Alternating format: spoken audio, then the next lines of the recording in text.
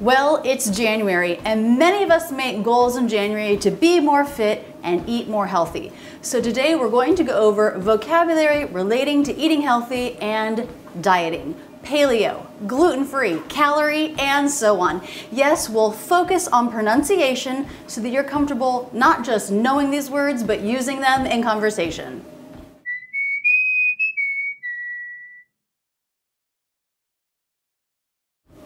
Hmm, I've been walking for three minutes. I think that's enough exercise for today. To begin, we'll focus on the word diet. This word actually has a couple of different meanings.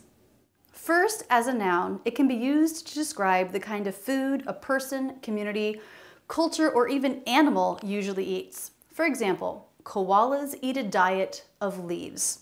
So that just describes what someone eats. But we also have a second meaning. And this is not just a general way to describe what someone eats, but a restriction, usually to lose weight or be more healthy in some way. For this, we use the preposition on. I'm going on a diet to lose weight. I'm not going to have dessert because I'm on a diet. Diet. It's a two syllable word with first syllable stress, die. The I as in by diphthong, die. Diet. Then smoothly into the second syllable, it's an I as in sit vowel and the T consonant. Diet. Between the I diphthong and the I vowel, it can feel like you go through the glide consonant Y. Diet. Diet. The ending T is a stop T unless it links into a word that begins with a vowel or diphthong, like in the phrase, I'm going to diet all month. Diet all, diet da da. There, it's a flap T. It's also a flap T in the word dieting, dieting, or dieted, dieted. There, also a flap T. I dieted last month. He was dieting before the wedding. Say these three words out loud with me. Diet, dieting, dieted, diet, dieting dieted. Now let's talk about some of these diets out there where you restrict what you eat. We have a vegetarian diet and a vegan diet. Vegetarian is a five syllable word with middle syllable stress. Vegetarian. Vegetarian. Vegetarian. There is secondary stress on the first syllable. Vegetarian. Vegetarian. Now notice the word Vegetable, which is related, is different. It has first syllable stress. Vegetable. Vegetarian. This is an adjective that can describe a person or a diet. She's vegetarian. She eats a vegetarian diet. That restaurant doesn't have many vegetarian options.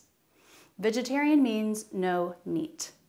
Vegan takes it one step further and is no meat or animal byproducts like things made with eggs, dairy, or gelatin. Vegan with the E vowel is the much more common pronunciation, though I've also heard vegan. Philly restaurants have a lot of good vegan options. Vegan, vegetarian. Say these words with me. Vegetarian, vegan, vegetarian, vegan. You might also hear the term plant-based. This isn't totally vegetarian, but the majority of what you eat comes from plants rather than animals. Plant-based. You'll hear that with a stop T. Plant-based. That's because the next word begins with a consonant. Plant-based. Plant-based. There's no t. Plant-based. Notice the a vowel in plant is not pure. That would be pla, plant, plant. That's not how we say it. When a is followed by n, then we relax the back of the tongue a little bit. We get an uh vowel. Pla, plant, plant, plant-based.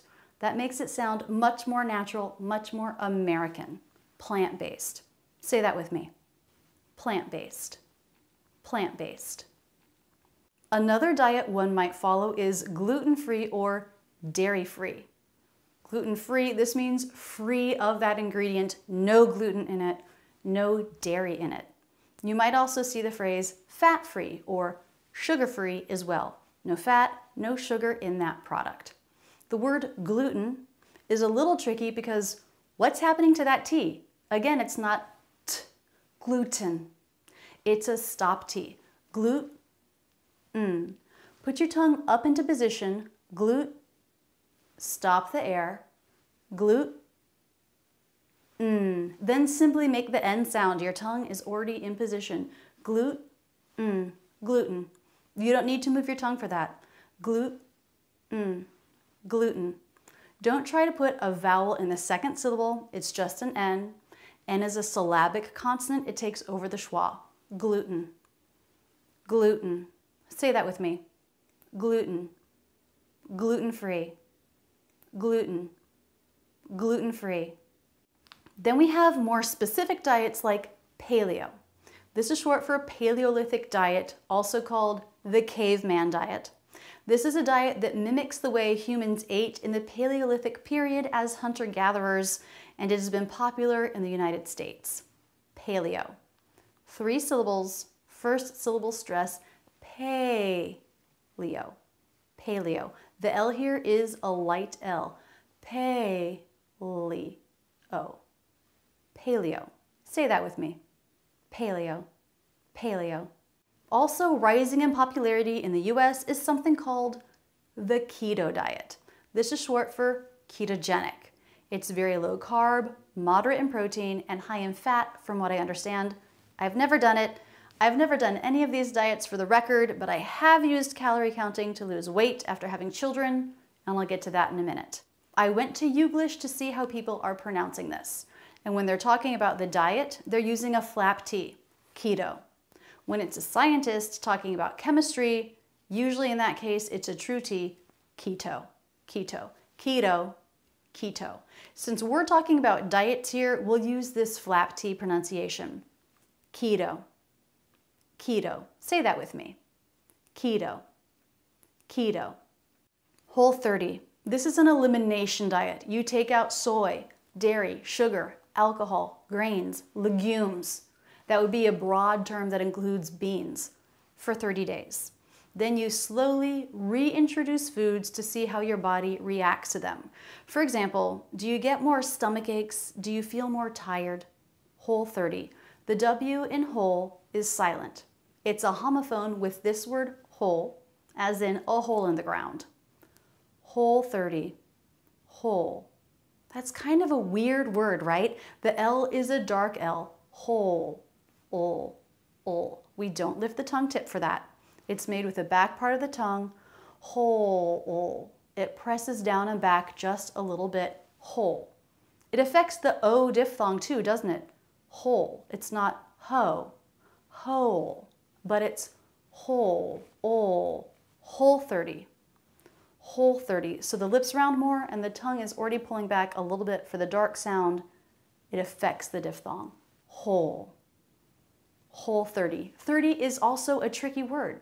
First, an unvoiced TH, 30. The tongue tip has to come through for that sound.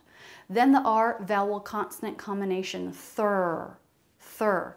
Then a flap T, 30, 30. Right into the unstressed E vowel. 30. Whole 30. Say that with me. Whole 30. Whole 30. The Mediterranean diet has also gotten quite a bit of attention in the US, and there are quite a few medical studies that back that this really will improve your health long term. This diet is based on the traditional cuisine of countries bordering the Mediterranean and includes lots of vegetables, fish, and whole grains. Mediterranean. That is a long word, six syllables. With long words like this, it does help to focus on stress. There is secondary stress on the first syllable, me, Mediterranean. Then we have primary stress on the fourth syllable, Mediterranean, Mediterranean, Mediterranean. Notice the T in this word is a true T. This is an exception. It comes between two vowels, but it does not start a stressed syllable. Normally that would be a flap T, but we do pronounce this word with a true T. Mediterranean. Mediterranean. Say that with me Mediterranean.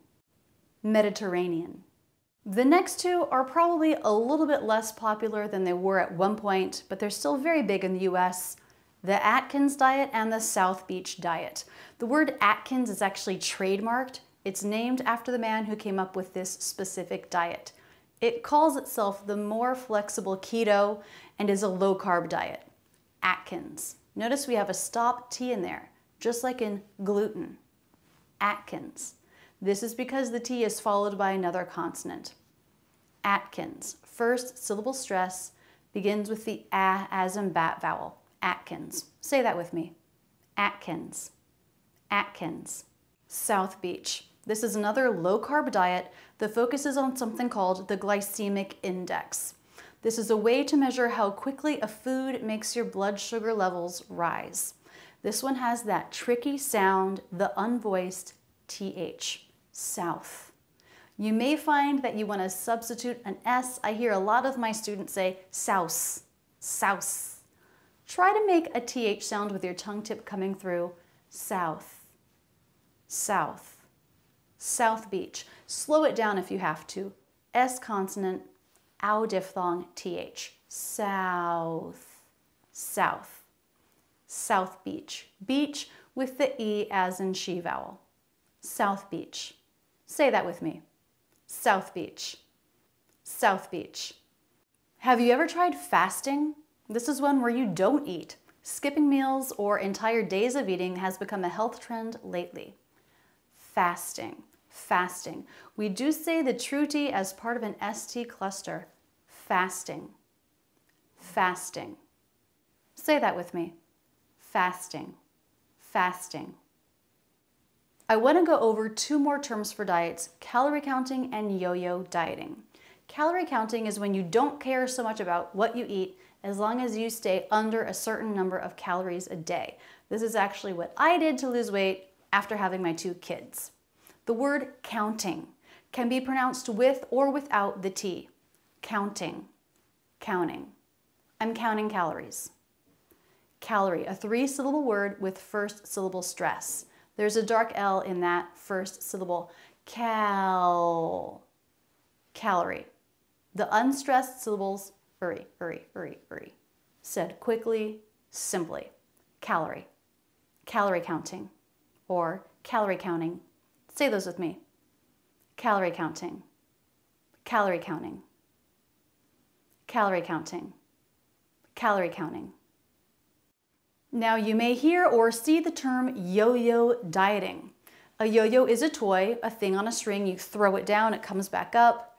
Yo-yo dieting refers to people who go on a diet, lose a bunch of weight, go off the diet, gain it back, and go on a diet again, lose weight, and so on. Yo-yo the same syllable twice, first stressed, then unstressed. Yo-yo. Say that with me. Yo-yo. Yo-yo. What do you think? Are you going on a diet this year? I'm intrigued by the Mediterranean diet and I kind of want to try it. My family really needs to be eating more vegetables and less processed foods. There's no question about that. Learn more vocabulary, check out my vocabulary playlist, and don't forget to subscribe with notifications. I make new videos on the English language every Tuesday, and I'd love to see you back here. A huge thanks to everyone who's joined my YouTube channel membership. You guys are awesome and amazing. Join the membership to support this channel and get extra videos and perks from me. That's it, and thanks so much for using Rachel's English.